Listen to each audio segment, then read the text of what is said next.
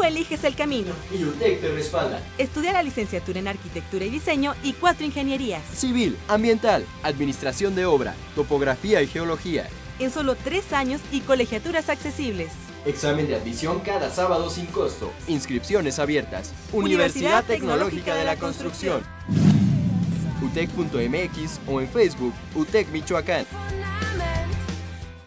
En cumplimiento a una orden de aprehensión girada por el juez sexto penal, la Procuraduría de Justicia de Michoacán logró la detención de Jesús R., exfuncionario administrativo de la Secretaría de Política Social, quien está acusado de peculado y abuso de autoridad.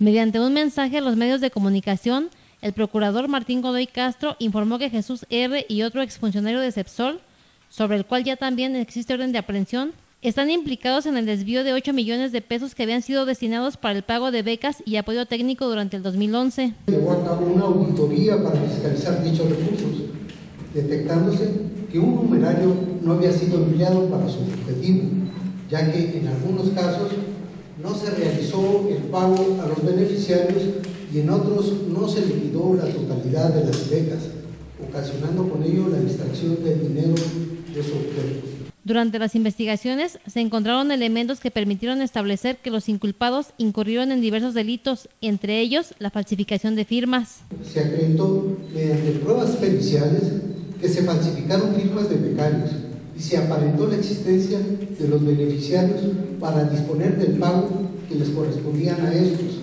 Los inculpados ocupaban los cargos de director de fortalecimiento comunitario y secretario técnico de la Secretaría de Política Social. Para Cuasar TV, Sandra Sáenz.